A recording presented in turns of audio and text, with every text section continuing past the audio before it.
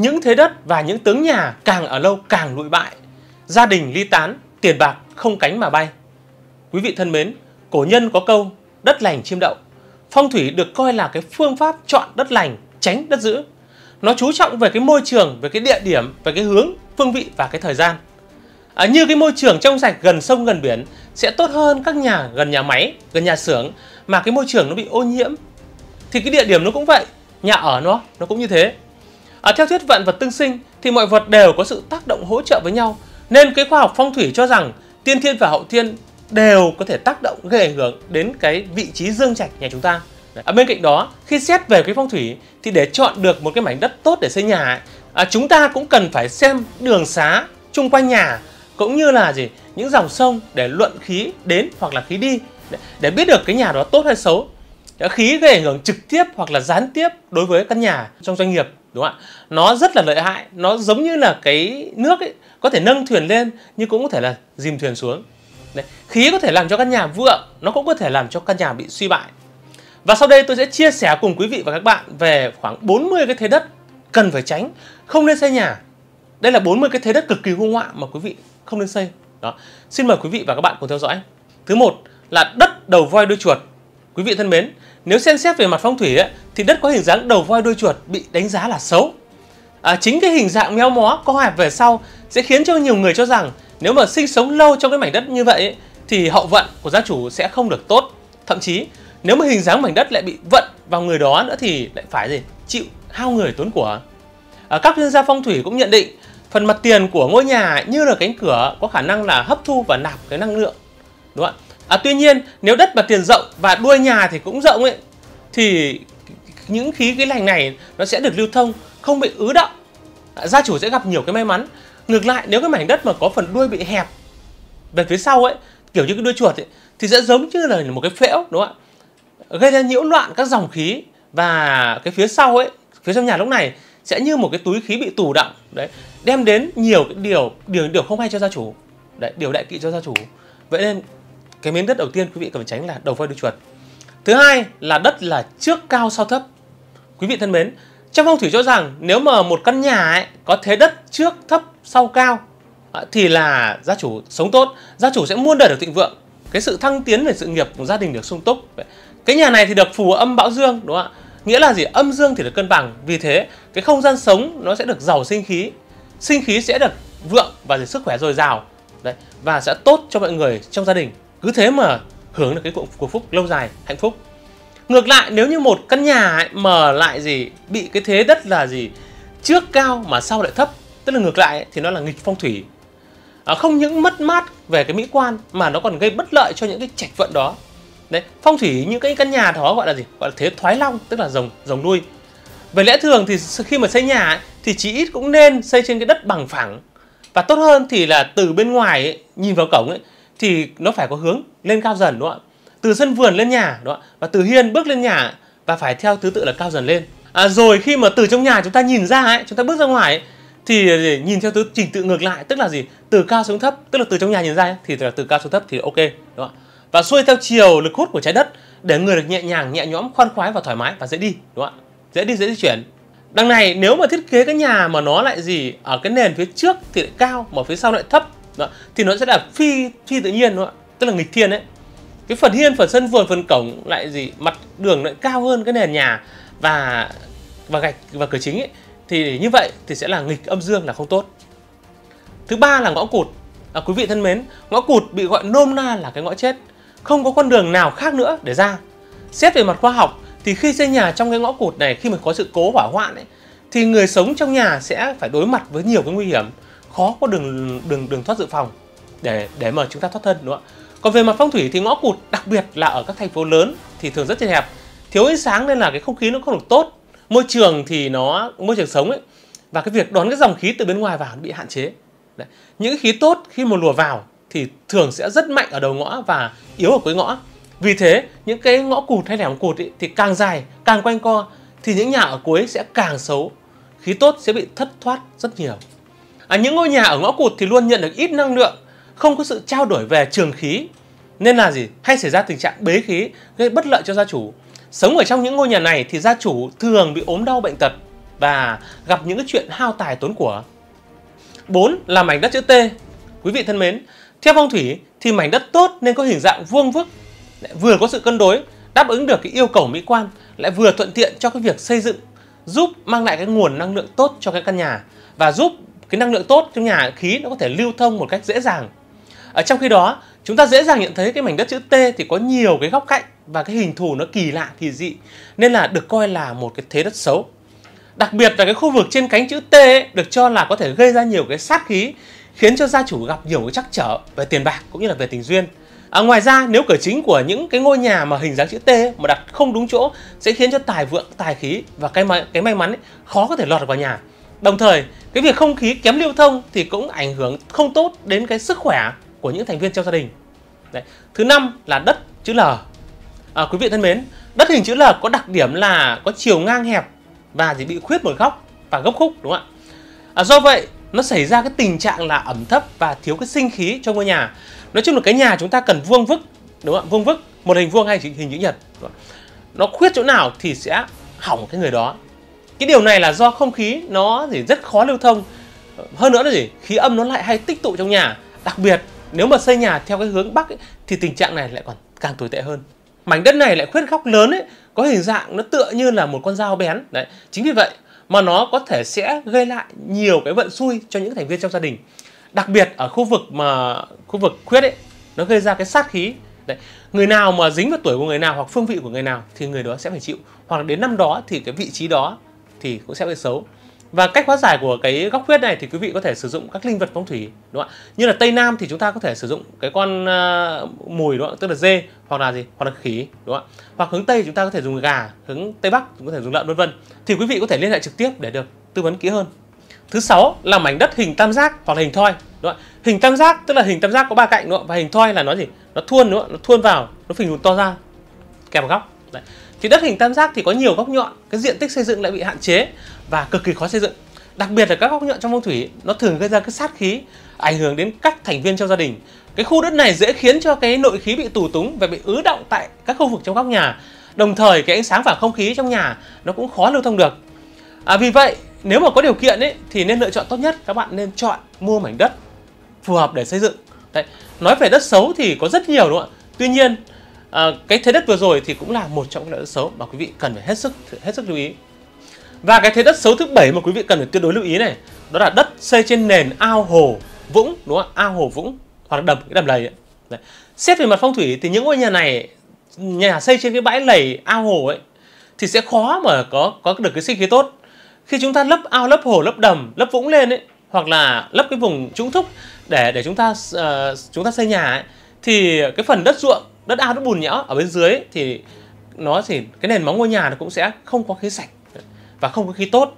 Về lâu về dài sẽ ảnh hưởng đến sức khỏe và đến gia đạo cũng như là đến nhân đinh của của căn nhà đó. Do đó, trước khi sử dụng thì các gia chủ cần có biện pháp về gia cố nền cũng như là nghi thức động thổ cũng phải cần đặc biệt lưu ý và để xử lý những cái tạp khí, những uế khí ở ở cái đất mà có mặt ao và ruộng. Đó, khi mà chúng ta tân lấp để chúng ta xây. Đấy, thứ 8 là đất có chứa nhiều âm khí à, đất có chứa âm khí như đất được xây ở san lấp ở những bãi tha ma nghĩa trang vân vân. Đó hoặc đất chúng ta xây dựng ở những nơi mà có xây những những khu mộ cổ đấy, những nơi mà hầm huyệt đạo ngày xưa vân vân. Đấy thì những nơi đó tích tụ rất nhiều cái âm khí. Những khu đất có âm khí nặng thì thường khiến cho con người phải chịu nhiều cái áp lực vô hình. Mọi người thường nhận thấy là mệt mỏi đó và thậm chí là gì? Bị u mê bị bị bị ai hành hạ bị che mắt. Làm việc thì luôn thiếu sáng suốt. Dạ. nếu như mà sống trong ở những cái ngôi nhà này thì trong một thời gian dài thì con người sẽ bị sa sút về tinh thần, thậm chí là tinh thần nó không ổn định. Tính tình thì cũng thay đổi nhiều, từ đó sẽ khiến cho họ không còn tâm trạng cũng như là gì, khiến cho họ phải suy nghĩ về nhiều về công việc. Và khi sống ở cái nơi nặng âm khí này thì gia đình cũng hay lục đục. Cái điều này cũng do cái tính cách và do suy nghĩ của những người ở trong nhà thì đều bị tác động tốt xấu khác nhau. Nếu mà không cẩn thận ấy, thì cái điều này có thể làm tan vỡ gia đình và đây cũng chính là cái lý do mà khiến mọi người sợ ở những khu vực đó đúng không ạ? Nó sẽ khiến gia chủ bị xui xẻo bệnh tật liên miên. Thậm chí là cái việc sinh nở thì của mọi người cũng không bị không được thuận lợi. À, đặc biệt nữa là cái tài vận của mọi người trong cái khu đất này thì cũng sẽ không được tốt. Đó nó không thể phất lên được. Đó là cái số thứ thứ thứ 8 à, cái cục đất thứ 9 mà chúng ta không nên chọn đó là cục đất phạm vào gì? Hỏa sát. Hỏa sát là gì đúng không ạ? Tức là các ở các nhà mà dừa ở dưới hoặc là gầm ấy nó sát bên cái đường dây điện cao thế đúng không? hoặc là kế chạm điện cao thế, hay là gì, thấy cái trụ điện, trụ sắt cao thế ở ngay trước cửa, đúng không? hoặc là gì, các vật nhọn nó chĩa vào nhà chúng ta, thì đó gọi là gì? Là hỏa sát. Những người cư ngụ ở bên trong căn nhà này thì đều có thể bị ảnh hưởng bởi cái họa huyết quan. Những cái vật dụng hoặc là những cái tài sản trong nhà có thể bị hỏa hoạn mà thiêu sạch. Của cái hoạch tài thì cũng không bao giờ tới cửa đâu làm nhiều nhưng mà cái lúc hưởng lại không được là bao. Nên là hậu vận sẽ luôn phải sống trong khổ cực cái đường công danh sự nghiệp của ngôi nhà này thì cũng sẽ không được thuận lợi đúng không ạ?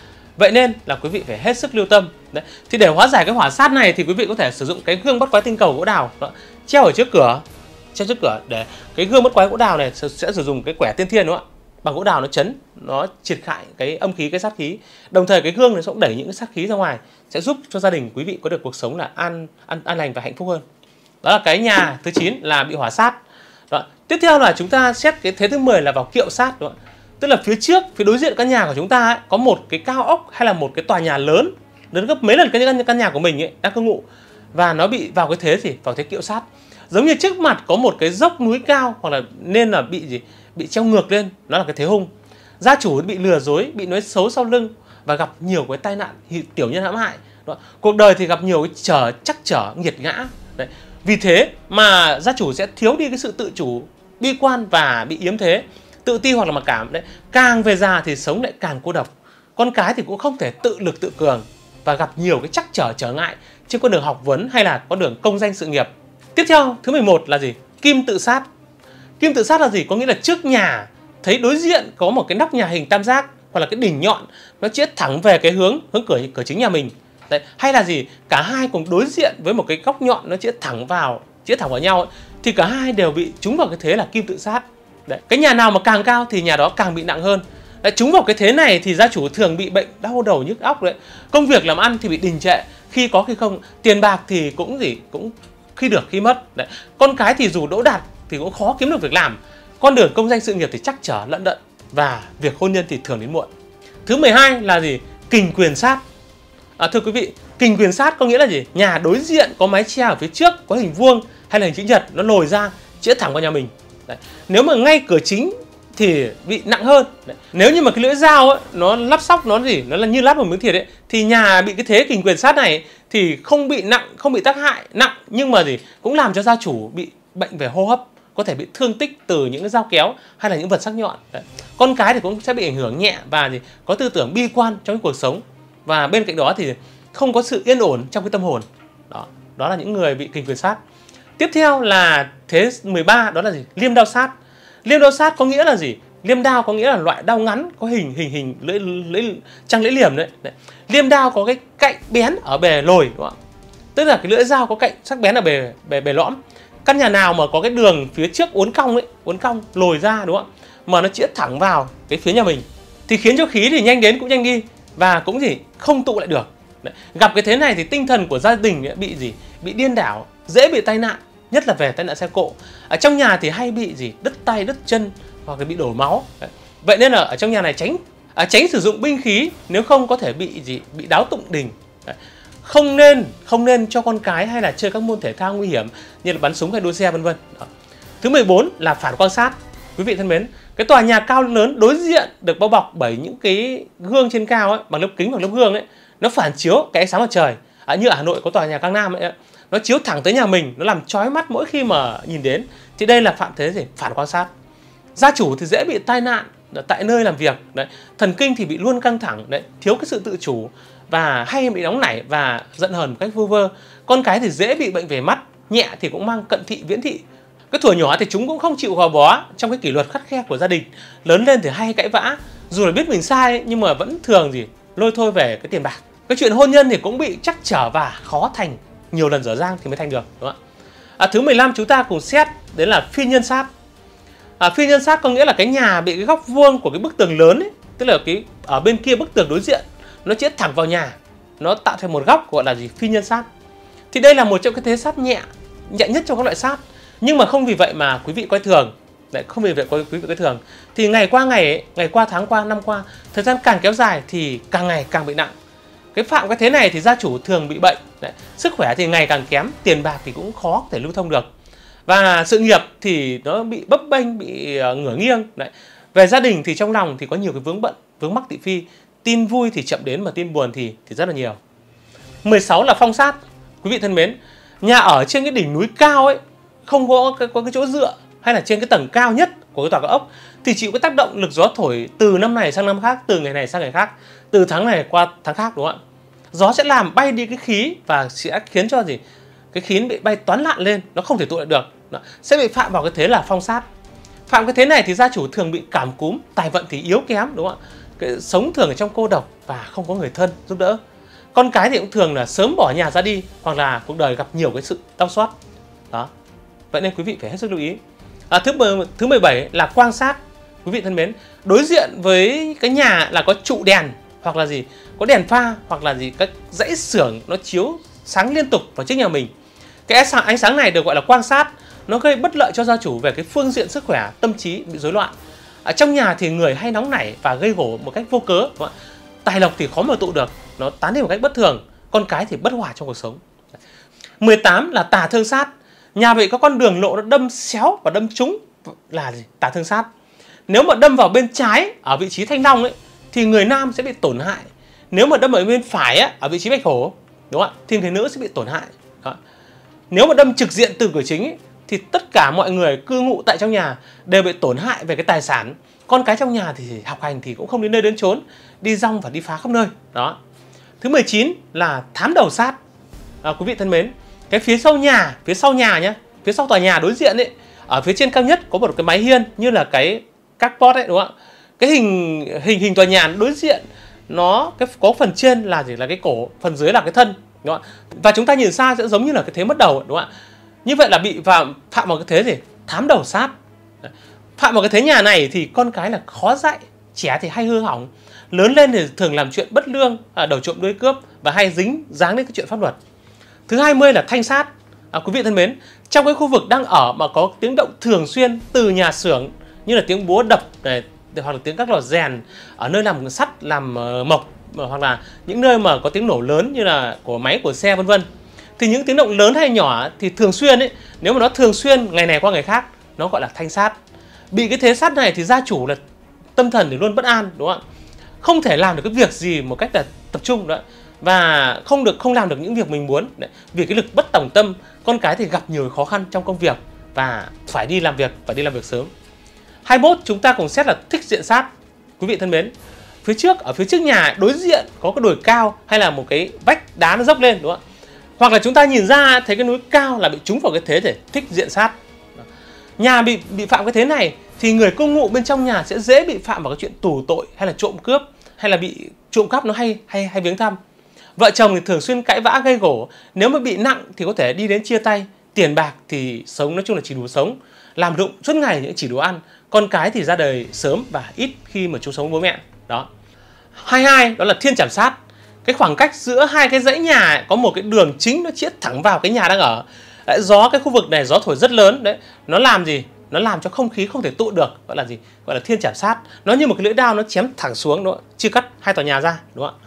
Cái sát khí này là từ cái khoảng trống không nó nó xông tới nó gọi là gì? Gọi là hư sát. Đấy. gia chủ nó ở, sống trong cái nhà này sẽ bị suy nhược sức khỏe thì ngày càng kém tài lộc thì ít đến đúng không ạ? Và đi thì nhiều. Thì có thể là gì? Gặp nhiều cái tai nạn xe cộ và con cái ra đời sớm gia đình thì nói chung là cũng không có lộc à, thứ hai ba là thương sát thương sát là gì? Tức là đối diện với phía trước của nhà làm với cái con đường ngõ cụt. Đấy. nhà này thì bị kẹt vào cái thế là thương sát à, ờ, sức khỏe của gia chủ bị à, bị sút kém. Công danh sự nghiệp thì không thuận lợi. Riêng con cái thì cũng không bị ảnh hưởng mấy đúng không ạ? 24 đó là gì? Là thủy tinh sát à, quý vị thân mến nhà đang ở mà nằm dưới một cái thung lũng hay là phía sau một con suối ao hồ bị tù hãm. Đấy, thì gọi là gì? Gọi là thủy tinh sát. Nhà ở vùng có đất ẩm thấp quanh năm suốt tháng. Nhà có đất nền mà cao hơn cái thế đất bên trong ấy, thì các căn nhà này nói trên ấy, thì bị dễ bị gì? Ngập lụt hoặc là gì? Bị động nước khi mà có mưa lớn.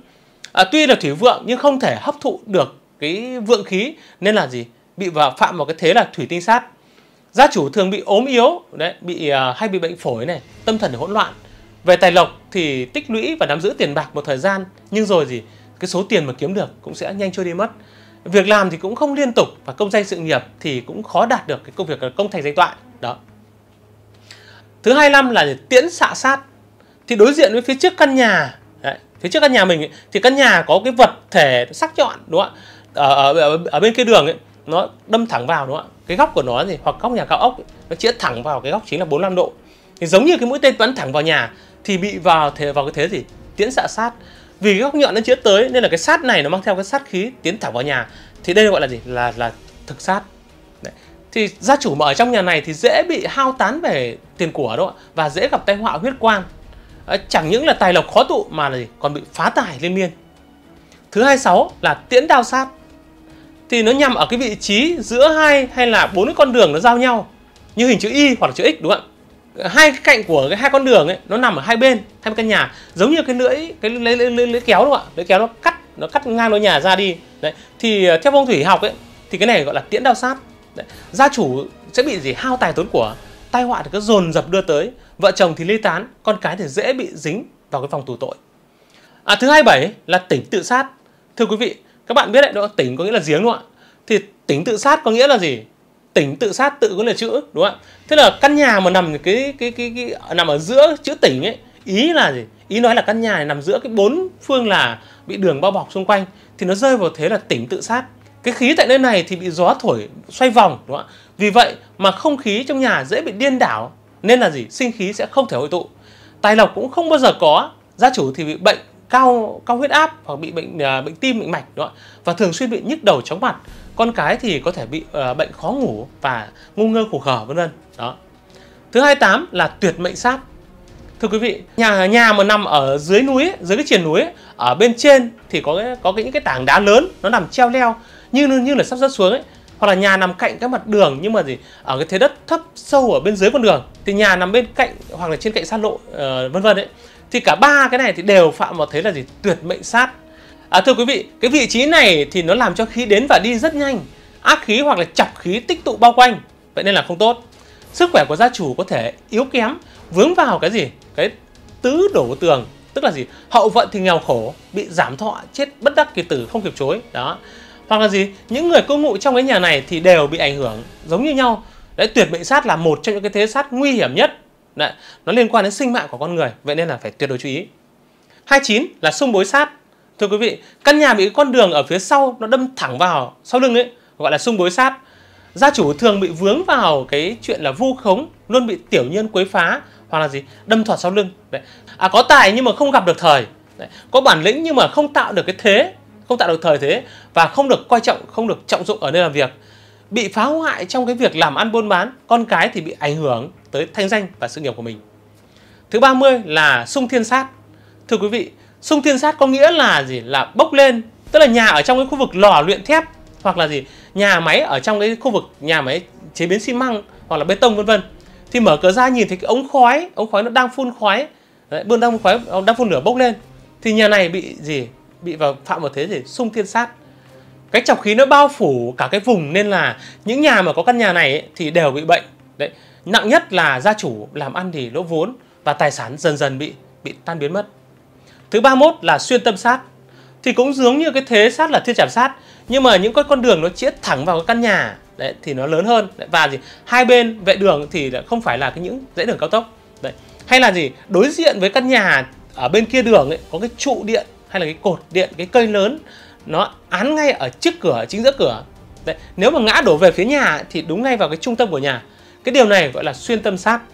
Nếu bị bị phạm vào cái thế này thì gia chủ sẽ sống không thọ. Đấy. sức khỏe thì kém, bị họa về cái vũ khí nó gây nên, hoặc là gì, bị kiện tụng hay là bị gì, bị tiếng, mang tiếng là thị phi. Ba hai gọi là gì? Sung xạ sát. Xạ có nghĩa là bắn, tức là để mũi tên vào cái cung và bắn đi ấy. Bắn ra xa thì gọi là gọi là xạ đó phạm vào cái gì mà có sự tống mạnh ấy, tức là có kiểu như phi tiêu ấy thì cũng gọi là sung xạ sát đúng không ạ? Sung tức là gì? Tức là đối thẳng tức là tiến thẳng về về về về phía trước mà không ngại nguy hiểm. Đó. Cái phía trước căn nhà chỉ còn có một cái cái cái cái cái đỉnh nữa hay là một cái nhà bỏ hoang ấy lạnh lẽo. Cái phía trước căn nhà nó có một cái cái tảng đá hay một cái điều gì đó nó chưa trọi. Đấy hoặc là cây cổ thụ đã chết thì căn nhà bị phạm vào cái thế như vậy là gọi là gì? Gọi là xung xạ sát. Gia chủ kiểu như bị cô đơn ấy, gia đình thì bị phân tán đấy. Con cái thì ít khi trở về thăm viếng nhà à, khi nhắm mắt ấy, thì cũng không có người thân ở bên cạnh. À, thế đất xấu thứ ba ba là thế âm sát. Phía trước và sau của dương trạch ấy có quá nhiều cái cây lớn. Không theo thứ tự hàng thẳng đối tức là gì? Nó gọi là loạn mộc đấy. Thì nhà ở những cái giữa cánh rừng rậm rạp hay là ở phía trước nhà có nhiều cái cây lớn quá cao nó gì? Cây nó tán cây nó che phủ làm quả không mọc được. Nên là gì? Tụ nhiều cái âm khí hoặc là gì? Phía trước cửa nhà ở phía ngoài đường ấy có gốc cây lớn chấn án nó ngăn chặn cái khí cái khí vào. À, tùy theo độ nặng nhẹ mà trạch chủ sẽ bị thất tán về cái tinh thần. Làm việc thì bị việc làm ăn bị xuống dốc nợ nần ngày càng bị gia tăng. Và gia đạo thì bất ổn hoặc con cái thì cũng không nghe lời cha mẹ. Hôn nhân thì cũng không được hạnh phúc và thường đến muộn. Thứ ba tư là gì? Cắt cước sát à, quý vị thân mến à, cắt cước sát có nghĩa là cái thế nước cắt chân ấy tức là bị què quặt. Đấy, không đủ cái sức để chiến đấu. Đó có thể là những căn nhà mà ở dưới biển ấy ở bên bờ biển bên bờ sông hoặc bên bờ suối nó không có con đường trước nhà đấy. Và kế bên là lộ hay là gì cạnh đường dây xe lửa hoặc là gần gần cái cái cái phi đạo đó.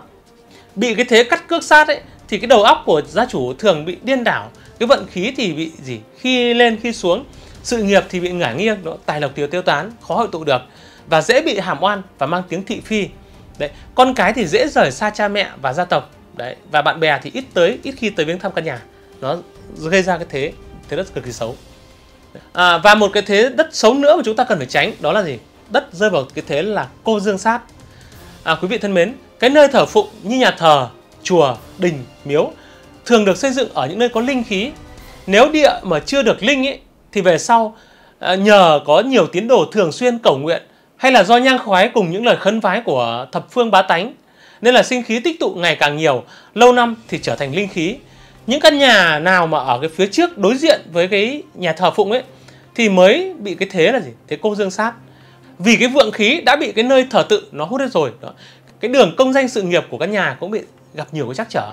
Gia chủ gặp nhiều khó khăn về cái tài chính, đấy. gia đình thì luôn bị phiền muộn, đấy. Trái lại thì ở những cái cạnh phía sau ấy cái phía sau ấy, cái ngôi đền của trình đình chùa ấy thì các căn nhà này lại luôn được cái sinh khí vì là được hội tụ nhiều cái nhiều nhiều cái nơi thờ phụng đó. Nó tích tụ quá nhiều để gia chủ thì được hưởng quý nhân giúp đỡ công việc thì sẽ được thanh thông thuận lợi gia đạo thì bình an con cái thì ngoan ngoãn hiếu thảo. Đó. Thứ ba sáu là cô độc sát hay còn gọi là gì? Khẩn thủy trực tẩu. Có nghĩa là nước chảy bên bên dưới quá nhanh ấy. À, không thể nào đọng lại được trên mặt đất. Do đó khí không tụ được và nhà ở trên núi cao hay là những nhà nằm ở cái vị trí đất cao ấy ở cái thế đất ở phía trước và phía sau ấy, có cái độ dốc trên 35 độ. Đấy tính theo mặt đường ấy. Hoặc là gì? Hoặc cái dốc cao hoặc là những cái cái cái cái cái cái, cao ốc nó đứng riêng riêng biệt đấy không có cái cái cái cái nhà nào khác ở cái cận cả. Đó thì nó gọi là cô độc sát. Gia chủ thường bị khó khăn về cái vấn đề tài chính. Gia gì bị gì? Bị cuồng tâm tức là tâm trí tâm trí bị điên loạn. Đấy và thường nóng nảy thái quá gia đạo thì bất an con cái thì học hành không đến nơi đến chốn. Nhà nào bị vào cái thế cô độc sát thì thường là vợ hoặc chồng phải có người đi ra ra đi trước và người còn lại sẽ phải sống lẻ loi suốt cuộc đời. Ba bảy là câu liêm sát thì thường xuất hiện ở các nhà lớn ờ, có kín cổng cao tường đấy. Vì cái miếng đất quá rộng nhất là gì? Rộng rộng rộng rộng theo chiều ngang ấy chiều ngang ở phía, phía ở phía trước. Nên là chủ nhà thường làm hai cái cổng hai cái cổng. Đấy. một bên là cho xe vào một bên là cho xe ra và để dễ dàng có thể di chuyển được hơn. Đấy. hình hình dáng nó giống như là một cái một cái một cái cung đúng không? một cái cung bên bề lồi, bên bề lõm ở ở phía trước cửa nhà. Cái câu liêm này còn được gọi là gì? Cái độn liêm đao, tức là gì? Cái lưỡi liềm cùn ở phía cạnh của phía ngoài của lưỡi hái thì là không bén nhưng đây lại là cái điều mà phạm vào phong thủy giống như là gì? Liêm đao sát. Mặc dù là cái thế liêm đao sát thu nhỏ, chỉ bị, nó chỉ bị ảnh hưởng nhẹ, nhưng mà nó cũng làm cho gia chủ bị hao tài tốn của Đấy, vì những cái trò đỏ đen hay là con cái trong nhà thì cũng không được hòa thuận. Ra thế thì ngày càng mất tiếng tăm. À, cái thế đất thứ ba tám mà chúng ta cần phải tránh đó là gì? Đao chạm sát. Nhà ở bên tay trái có con đường lớn như là chữ L hay là bên tay phải có con đường lớn như chữ L nó ngược ngược phía đúng không ạ? À, hoặc là những cái con đường nó giống như là con dao chém thẳng xuống cái nhà. Mặc dù là cái sát khí của nó nhẹ nhưng mà nó nhẹ hơn cái liêm đao sát nhưng mà nó vẫn làm cho gia chủ bị tổn hại làm cho gia đạo gặp nhiều cái khó khăn. Những người chủ nhà sẽ gặp nhiều cái tai nạn bất ngờ bị dính dáng đến pháp luật. Con cái thì cũng không sống chung với cha mẹ. Hoặc là gì cái việc học tập của chúng cũng bị giang dở giữa chừng và chuyện tình duyên thì cũng dễ bị đứt đứt đoạn. Và cái chuyện tình duyên thì cũng dễ bị đứt đoạn. Và cái thế sát thứ ba chín chúng ta cùng xét đó là đoạn hổ sát. Đoạn hổ sát có nghĩa là thế là thế nào đúng không ạ? Là đối diện với căn nhà ấy, ở phía bên kia con đường này phía bên kia con đường có một cái mái nhà lớn hình chữ L ngược ngược nó lắm vào ngược đầu ấy như một cái lưỡi của máy chém như một cái lưỡi của máy chém nó gì sẵn sàng chạm xuống bất cứ lúc nào. Đấy. À, khi mà cái vận khí của gia chủ ấy nó được thịnh ấy thì không có gì trở ngại cả. Nhưng mà vào những năm mà bị tam tai hoặc là bị vận hạn vận niên xấu ấy thì người chủ thường là và người phối ngẫu ấy, thì dễ bị cái chuyện thị phi hoặc bị tiểu nhân dèm pha mà ám hại. Và thứ 40 chúng ta cũng xét là độc âm sát đúng không ạ? Những cái thế đất mà phạm vào độc âm sát là những căn nhà mà ở gần bên bên bên gì? Bên bệnh viện này, bên nghĩa trang này. Sát bệnh viện hay sát các khu vực nghĩa trang bị tích tụ các loại âm khí nặng nề. Đấy, hoặc là gì? Tích tụ nhiều tử khí. Nhà nào mà lâm vào cái thế độc âm sát thì gia chủ sẽ sống trong cái bi thương, bi quan và bị cái bệnh mất ngủ, thường xuyên lo sợ, đó, lo sợ viển vông và hay bị những suy nghĩ tiêu cực. Không thích ganh đua với đời và cái tài đức thì cũng kém. Gia đình thì ít con và thường buồn bã. Người thân quyến trong gia đình thì cũng ít ít khi à, tới mà lui tới hỏi thăm. Đấy, con cái thì cũng có tư tưởng là yếu thế và sống cô độc ít có bạn bè. Đó. Thưa quý vị như vậy tôi đã vừa chia sẻ cùng quý vị và các bạn về 40 thế đất cần phải tránh không được chọn làm nhà kiểu gì xây ra họa sát thân. Càng ở lâu thì càng lụi bại càng hung bại tiền bạc thì cứ không cánh mà bay. Cảm ơn quý vị và các bạn đã quan tâm theo dõi. Hy vọng qua những thông tin vừa rồi đã giúp ích được phần nào cho quý vị tránh được những cái thế sát xấu và chọn được những miếng đất tốt để xây nhà giúp cho gia đình được hưng vượng và con cái ngoan ngoãn thông minh giỏi. Gia đạo bình an. Cảm ơn quý vị và các bạn đã quan tâm theo dõi. À, quý vị đừng quên đăng ký kênh và nhấn vào chuông thông báo để ủng hộ cho chương trình. Còn bây giờ xin chào và hẹn gặp lại quý vị trong những video tiếp theo. À, xin cảm ơn.